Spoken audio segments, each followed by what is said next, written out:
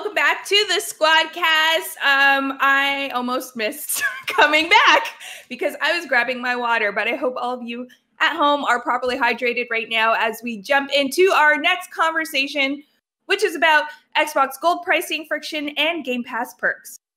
Steve?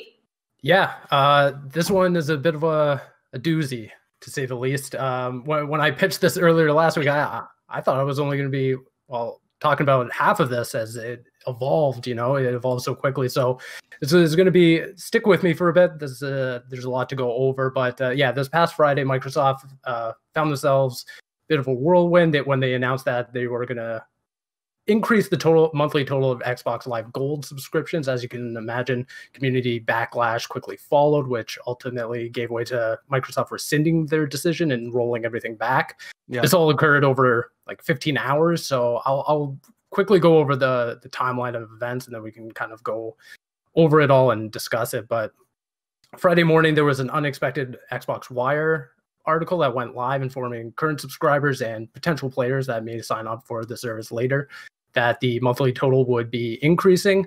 Uh, as stated, Microsoft's intended increase was as followed. I'll kind of go over it in in Canadian dollars anyway. So for a one month subscription, it would go to twelve ninety nine, which would be up one dollar. Three months would be thirty four ninety nine, which would be up five dollars, and then six months would be sixty nine ninety nine, which would then be up twenty five dollars. Uh. It's hmm. worth noting that Microsoft discontinued the twelve month subscription of Xbox Live Gold uh, last July, so that's no longer an option. Uh, if you could kind of glance over the the number for like six months, that used to be the total for a full year. So they were essentially doubling the mm-hmm. subscription for Xbox Live Gold, which, yep. in case you don't know, like that's what um, online play, party chat, and even the ability to play free to play games was behind. Uh, which, going uh, off of that, uh, following the announcement, like the community began obviously voicing their disapproval. It ignited this whole conversation that PC play- players really have the best value when it comes to online services because online play isn't paywalled, right? Uh, PlayStation kind of falls on that side as well with along Xbox, but the frustration really stems from Microsoft's decision to gatekeep free to play games behind Xbox Live Gold, something that. PlayStation does. Obviously, PC doesn't do that either. Um, yep. Kind of, for example, like Fortnite, one of the biggest free to play games out there, isn't really free when you have to pay $140 a year to play with your friends. Yeah. Same with Halo Infinite, a game that 343 is touting as a free to play. They they have like their multiplayer as free to play isn't free either. Uh, so a lot of people oh, were that, upset. That wasn't that wasn't going to be fully free outside of Xbox Live. Well, no, you could assume no. I mean, oh, none of the other games were. I, yeah. thought, I thought I'd heard that that's what they were doing. All they that, said was that it's free to play. Okay. But so is okay. Fortnite. So is Warframe. Yeah. Okay. Warzone which is crazy when you think about it because even like PlayStation yeah. has like when it's a free to play game, it is mm. free, free to, play. play. Yeah. Um, with, and that's what you would think because the publisher or the developer um, behind it that's how they intend their game to be used. So I don't even know how the discussions go with, say, Epic and Xbox like in terms of having that game available on an Xbox that's supposed to be free to play, but then not like it's a loophole pretty much. Mm-hmm. I feel that yeah. Microsoft has been using. Right. When Netflix, you needed to have Xbox Live in order oh to use Netflix. God, yeah. Ridiculous. Like, yeah. I remember yeah. that. And I didn't even realize one day until like I think my thing had run out and I had changed my credit card. So like it didn't auto renew. And I was like, what why is this not working all of a sudden? Like my Netflix, I was watching it on my phone a few minutes ago. Right. But it should be working. Yeah, so yeah. weird. Yeah. Uh, so, so yeah. Precedent. Following like an afternoon and evening of, of, discourse, late at night, Aaron Greenberg tweeted out an update to the original Xbox Wire post at 9 p.m. PT. Uh, the Xbox Wire post now said this. I'm going to read out the full quote just so we have the full mm-hmm. context mm-hmm. Of, of what's going on. So, quote, we messed up today. We were right to let, and you were right to let us know. Connecting players with friends is a vital part of gaming, and we failed to meet that expectation of players who count on it every day. As a result, we have decided not to change the Xbox Live Gold pricing. We're turning this moment into an opportunity to bring Xbox Live more in line with how we see the player at the center of their experience. For free to play games, you will no longer need an Xbox Live Gold membership to play those games on Xbox. We are working hard to deliver this change as soon as possible in the coming months. If you're an Xbox Live Gold member already, you stay at your current price for renewal. New and existing players can continue to enjoy Xbox Live Gold for the prices they pay today, and then they go over the price price model in the U.S. dollars. Um, so, it, in my eyes, like this this whole ordeal kind of highlights Microsoft's long-term goals for its ecosystem. Uh, the way I read it was that you know they were doing this in a bid to kind of incentivize players to then convert over to Xbox or Xbox Game Pass Ultimate, which while more a little more expensive, does have a lot more value to a player outside of just online play. Yep. Uh, I, I do encourage but Sorry, do you really think? Yeah, continue. Sorry, continue. I, I was just gonna end with a, one quick note. I do encourage all of our audience go online on Twitter and look up Daniel Ahmad's Twitter account. He has like a huge breakdown of like how he reads it and goes into like the back end stuff of how conversations specifically around like the the free to play model was has been in talks for quite a while and really just goes over how this reads off as like Microsoft having a really tough time scaling Xbox Game Pass, and this is part of their plan. Which now, because they rolled it back, they're going to have to look at other ways to scale up Game Pass in the future because this is their their model for yep. their ecosystem is just to incentivize people to sign up for that subscription and stay there. Yeah, mm-hmm. so well, that's that's, that's what exactly what I was thinking, right? Like, is that actually the smart way to do that? Because then you get all this negative press from mm-hmm. people being like, what the heck? Uh, why are they going to up the price on this service when they're supposed to be that place for budget gaming? You know, the best deal in gaming is supposed to be Xbox, right? Um, and that's how they've been selling the Game Pass. I think this just goes to what we've talked about when, um, you know, PlayStation had their showcase and they talked about the PS collection and we were talking about the different bundles and right. how both consoles seem to separate their access to online. Mm-hmm. They then have, you know, a Game Pass or, you know, the PlayStation um, now. Now, yeah. yeah. Mm-hmm. And then you're like, why wouldn't you just bundle the two? And I feel like the although it wouldn't have really been a news story, I think the more logical thing for Xbox would have been to say, we are getting rid of Xbox Live. And live service is going to be bundled in with uh, a Game Pass, either the base or Ultimate. Right. Mm. And that's how you get your users to go. Yeah. Mm. No, I definitely agree. To me, like this kind of shows that the, the quickness of how how fast they they rolled this back and all that kind of shows that the decision to increase the price of Xbox Live Gold wasn't really made by the core Xbox team. It kind mm. of reads more like there were executives up there that were like, well, we can double dip. We've got two sources of revenue here. We've got Xbox Live Gold, we've got Game Pass. Why not just get the most money we can? And you know, here we see like they were so quick to to react to this, to react to the negative press that people weren't behind it. They had stuff going. I was gonna say, like, I think that's what the, the the big story here is that it's similar fashion to what we may have seen previously with something like Star Wars Battlefront 2 or even right. like Fallout 76, where consumers were just like, no. Yeah. like they were like, uh, we do not accept. And mm-hmm. it came to the point where like, yeah, Xbox had to be like, okay, all right, we'll uh we'll roll back on this. Um, but I was gonna say, you know, similar to what Camille was saying, that, you know, like it, it sounds like it wasn't all, all this really was was to try and help out Game Pass because it's probably right. becoming an mm-hmm. expensive mm-hmm. thing for Microsoft and they need to sustain it and they want it to continue to be that greatest deal in gaming. Um, but obviously this wasn't the way to go about it. They got a lot of backlash for it. I'm not entirely sure what plan B is if there ever was one for Microsoft, but they're certainly going to have to do some thinking because this worries me. This makes me think that like Game Pass, while they love it and they want it to be their business model, it's not bringing in the kind of returns that they were maybe hoping for right. to stay afloat. Hmm.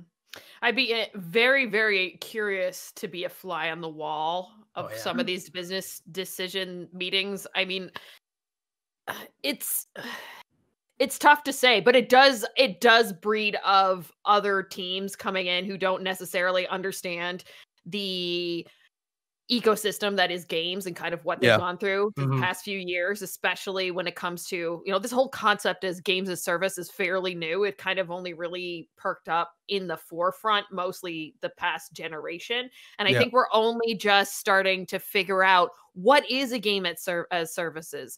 How do we kind of manage that as a business entity to keep it fresh and keep people hooked? I would I would put money in the fact that they're going to decommission Xbox Live Gold at some point because yeah. that's an old way of doing things. They haven't hiked the prices in eons, like maybe mm-hmm. since even existence. And we're not we're not playing games exactly the same way anymore. You know, the right. free to play model model didn't exist then. Yeah. So I can understand why they want to do it. I feel like if I was a betting woman, I feel like they had this response in the can because they knew this yeah. was coming. Yes. But Corp yes. was like, no, no, no, no, no, no, no. We're gonna try it our way first. And the yep. Xbox folks were like, okay. And then when this they opened the floodgates, you know, the team at Xbox was like, see, we told right. you so. Yeah. Let us go and retract this now because you're yeah. burning our bridges. Yeah. So and, and you're right. It's an older way of doing things. We've talked about it on the Squadcast before, where having access to just online play is so prehistoric. Like it's just now everybody, a lot of people who game have access to the internet. Um, yeah. They have access of playing games for free on the internet. It's just really weird that consoles would hold themselves back from making relationships with publishers, like, ex- yep. like having more exclusive deals.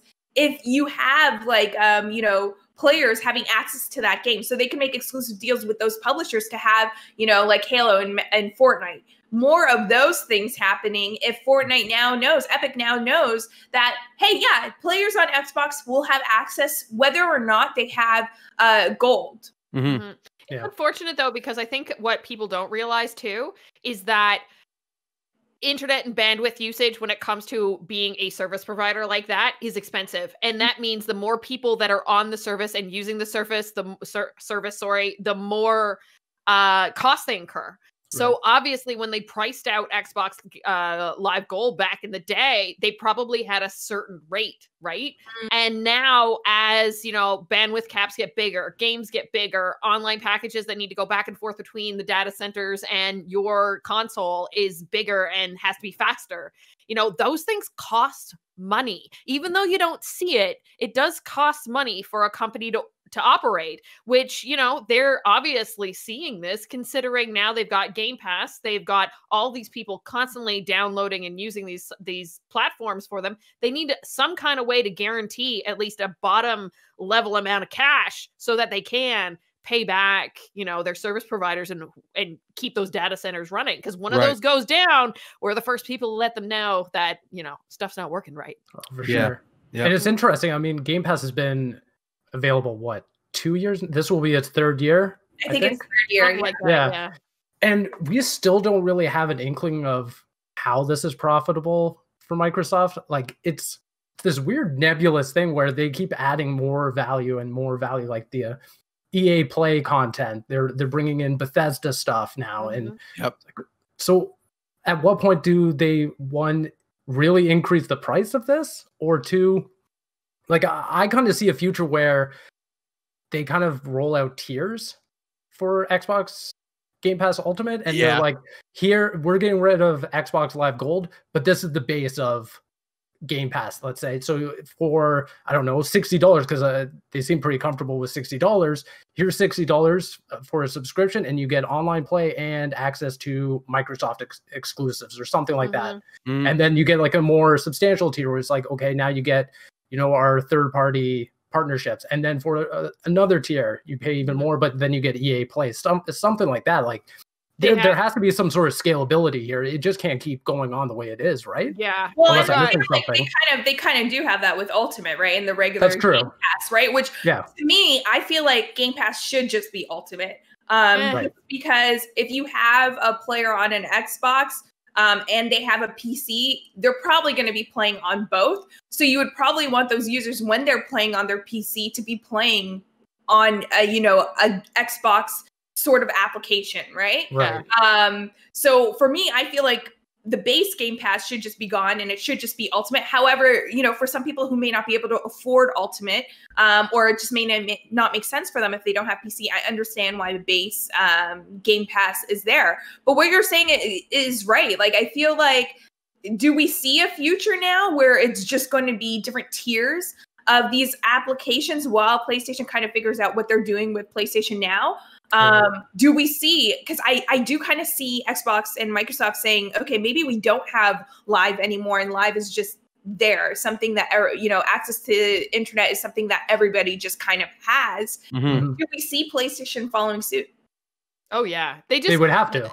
PlayStation just got to work out its business deals. That's the pro. That guaranteed. That's the thing holding PlayStation yep. back. Mm-hmm. Is the business deals that they've signed, and they've probably signed them in per- perpetuity for like 10 years or something and it mm-hmm. kind of put a nail in the coffin for any moves they want to make right now. Yeah. Give them some time cuz you have to understand too like Microsoft Microsoft is obviously used to dealing with all these things when it comes to their, you know, PC business and and uh, you know, Microsoft Office and all that kind of stuff. PlayStation yep. and Sony, on the other hand, is is a curator of content just as much because they obviously have the music industry, the movie industry, all mm. these kinds of things that are all intertwined. Um, that you know they have all these separate entities. They need to figure out how to get that all to mash and work together so that they can offer up something that's competitive too, and then have a similar ecosystem that kind of works like Xbox um, Game Pass does.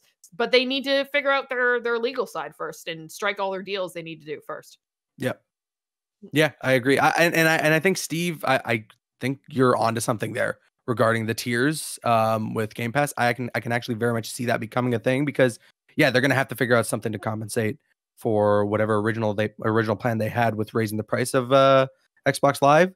Um, and that could be a viable solution. I don't know how many subscribers they might end up losing mm-hmm. to that tier system, but right. they could also end up gaining quite a bit. If it, if your tier one is like indie games and you know like smaller scale games, that mm. could appeal to a lot of people where yeah. it may be it may be cheaper than what Game Pass is right now, but of course you maybe don't get access to some of the AAA titles that you would want. Um, and then you go into the higher tiers where you can play games like what what do they got on there now recently? Um, they, they did they have Jedi Fallen Order on there at one point, or am I thinking incorrectly? I think they do now. It's part do of Game Pass right now. Yeah, I believe it is. Yeah, right. Yeah. So, so yeah. you know, you go you go into one of the higher tiers where you get AAA games like that, then that yeah. could appeal to someone who maybe wants to jump into a, a third person action adventure for for one month or something like that, and then switch over to their next game the next month or something. So I could see that becoming a viable solution. They got to yeah. fix their naming conventions first, though, and that's another reason why they need to obliterate Xbox Live Gold. I know. I, I, yeah. I fudge it up all the time on our podcast, keeping it straight between the One X and the Series X and the Series S and the Gold and the Live and the we talked about this yeah. too in our podcast, and it was just like keep correcting ourselves to make sure we're talking about the right thing. Yeah, mm-hmm. it's not easy, and if they want it to be approachable and easy for the non-gamer, because we just spoke about all these new people coming in, they gotta fix the naming conventions too and make yeah. it simple. Yeah, just simplify the whole thing, uh, which includes getting rid of games with gold.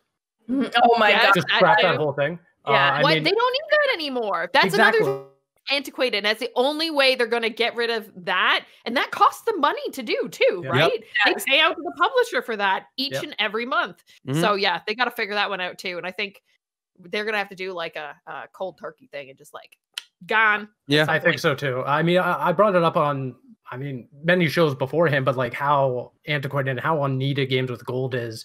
And we were, uh, you know, I, I tasked these two with uh, you know, just just tell me how how do you find your games with gold offerings nowadays? Like I don't know how to find it on my Xbox. No one does. Come on.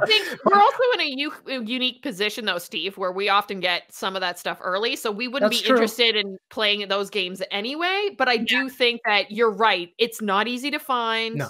They you know? hide it, and a lot of the titles are now in Game Pass, anyways. I mean, I, yeah. I, I, thought it's I thought it was really telling. I thought it was really telling that this month, when they minutes before they announced their their price increase, they yeah. announced one of the best lineups for games with gold I've seen in probably two years. and I'm not even being uh, facetious. I, I like there was Gears Five, there was um Indiana Jones game, there was Lost Planet 2. Like there were really good games there. I was like, mm. okay, well, maybe granted, I've played a lot of these games in the past, but I think this is the most compelling one I've seen but long time. played those games before, right? And I, I, think that's where Microsoft, as well as well as Sony, like they kind of need to figure out how they're consolidating all these mm-hmm. different adventures that they went on when we are yeah. trying to figure out online gaming, trying to figure out the exclusivity of some of the games. Now we're seeing even exclusive games release on other consoles or PC a year out. So it's how are they going to consolidate all these services to make it beneficial, yes, for them